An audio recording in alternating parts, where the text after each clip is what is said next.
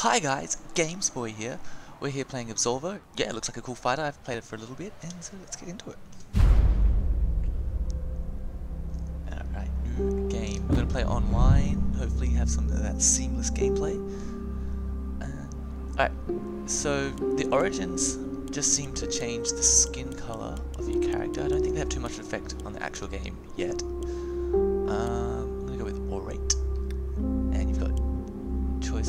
Male, female. We'll stick with male. And look at all the different haircuts you have.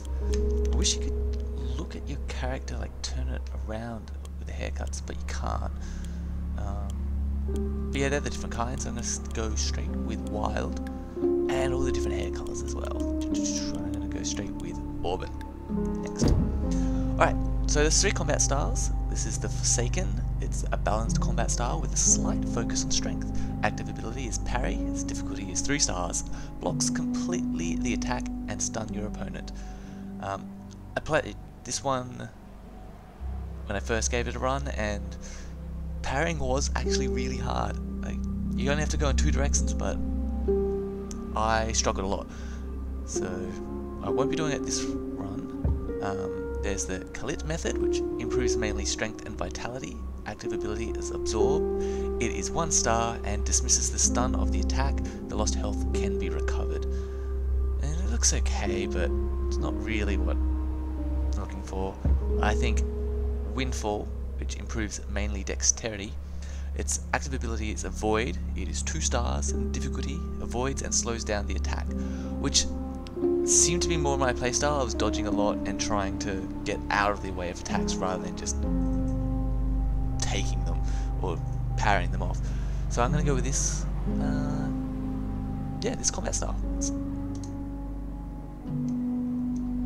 Got better click next. Alright, let's name our character. Games Boy here. Accept.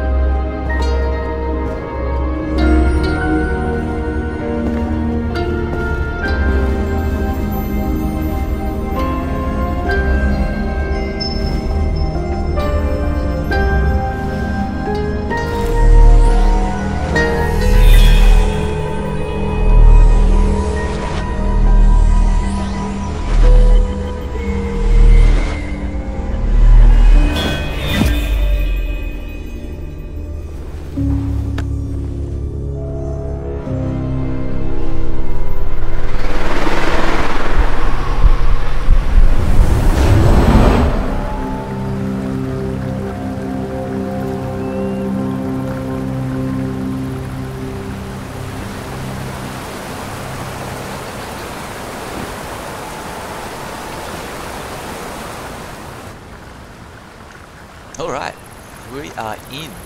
Now, really like this art style. It's really cool. Reminds me of Massive Chalice, although I haven't really played much of that. But yeah, it's it's neat. So, uh, alright, let's get exploring.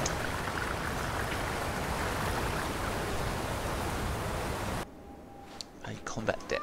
Combat deck has four stances. Each start with different attacks. Enter each stance once. Right trigger, wild wild.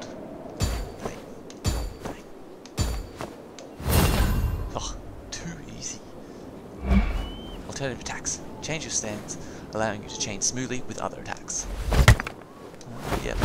See down the bottom. Showed that statue. Some attacks can have special properties.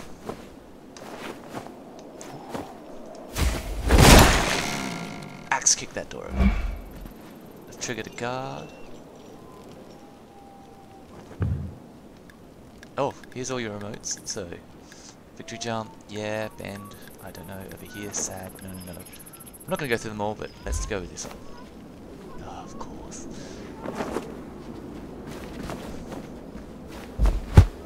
Oh. Guard also allows you to cancel attack if pressed immediately after attacking someone. Oh no. oh, the feint! Didn't see that coming, did you? Ow.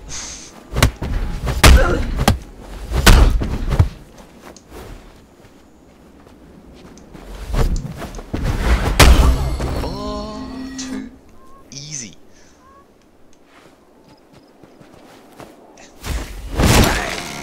Knock, knock! Oh. Bang. Surprise!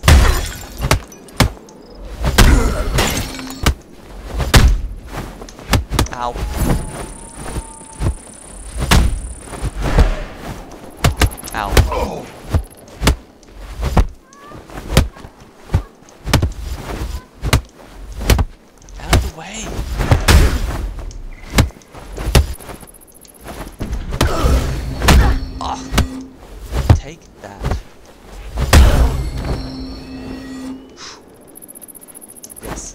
Is dodge.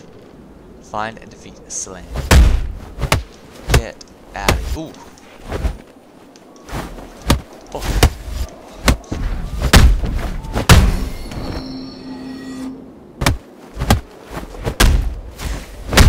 Oh.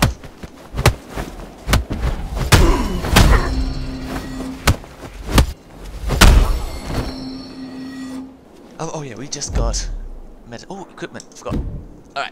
So, the Prospect Mask. Mask given by guides to prospects who come to Tower Point without having carved their own. Some say the broken eye was made in homage to Simeon Scar. We now have the Labyrinthine Prospect Mask. Someone has engraved labyrinthic patterns on an original Prospect Mask, maybe to reward those who had faith early.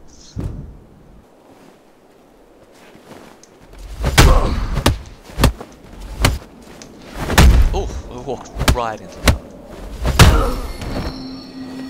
Oration Priest Mantle. Multiple layers of wool and golden plate on the shoulder, the mark of an early adopter. That's the up one, that's down to dark left and right. I'll mainly be using left and right, because that seems to be the easiest ones to pick. Prospect Undertop, simple nomadic cloth, light and sturdy, given to at Tower Point to those who come in rags. Here is our first boss. Ooh. Oh. Oh, what a duck! It's incredible! Oh, I keep dodging right into. Oh,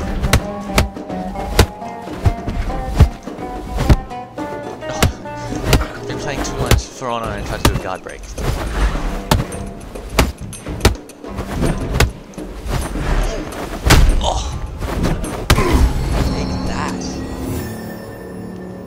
Prospect Tunic. Basic Linux tunic keeps its wearer cool in summer and warm in winter. And we've got the Oration Priest Tunic. A keeper's tunic embroidered with gold, the priest was chosen among those who arrived early and left late.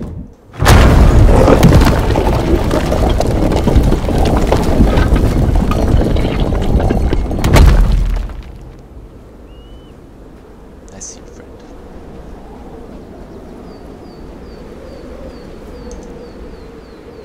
I am telling you, I'll try to help you as you progress, but if you lose yourself to the fold, I won't be able to save you. Interesting mask. Those who wear the mask are not all your enemies. You know, I will not attack you. That's good. When you are safe, you can enter meditation and practice your combat deck. Alright. Meditation. Combat deck. Oh, Alright, so attributes combat deck. Gloves. I want some war gloves. Alright, so practice. Um, in combat deck editor. In the practice mode, you can edit your combat deck's stances. Neat. Alright, so this is where you can kind of put together like combos and stuff I found. So on your left you got your like standard attacks, which is generally X on if you're using a controller. and you've got your alternative attacks, the ones that change your stances and stuff. So if you have a look, if I start in this stance, when if I press X and then X again, I'll end up in this attack and then I'll just follow through with that. But then if I press what I, I'll do this particular attack, which then puts me in this stance. So I'm faced like uh, my combat deck will be to the bottom left. And then if I press X again, it's going to do this attack and put me into the top right stance, which then I can go back to pressing these particular attacks. So as you can see, they do like 40 damage, 60 damage, and it's got a particular symbol. So I think that's un no, that's unblockable. So I'm not sure what that symbol means. But yeah, so you can kind of make up combos based on the different stances you end up at the end. So it can be like X, X, Y, X, and you're back up to here again. We can go X, X, Y, Y, X, and back up to here. This here, I can add a particular, I guess, attack. Um, if they got the tick there, it means they're already in the deck and just gets moved. So for now, it looks like these two are the ones that are free. And I just realized if you look at the symbol, it's got um, kind of your fighting style. So this is the I forgot what my fighting style is, but I've um I know I remember the symbol. So at the top, right next to it, if I click on it, what happens? Yeah, there we go. It shows you whether or not strength, dexterity, or mobility increases its, I guess, damage power and whatnot. So I guess the more I have based on my attacks, the, my fight style, the better. Because my I guess dexterity is quite low. It's only doing 49.8, I'm guessing. Oh look, it does it. I can jump, avoid low attacks with this one. Oh, this is, there's so much stuff that's happening in this one. Um, just learning all these things. Oh, breaking attack. So stop charging attack, strong impact on guard, break. Gale's absorb ability. Oh, what's this one? Stops charging attacks. Alright, so that symbol is the stopping charging attacks, the sort of explosion. So yeah, that's how you can make combos and stuff like that. So spent way too much time trying to explain that.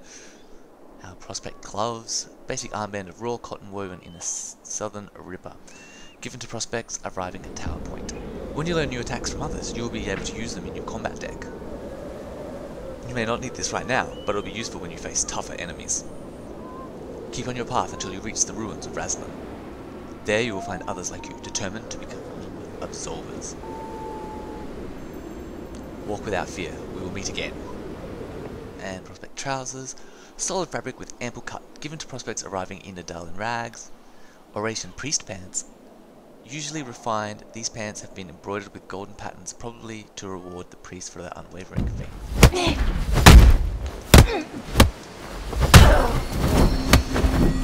Oh that was badass to that. Oh, just walked straight into that.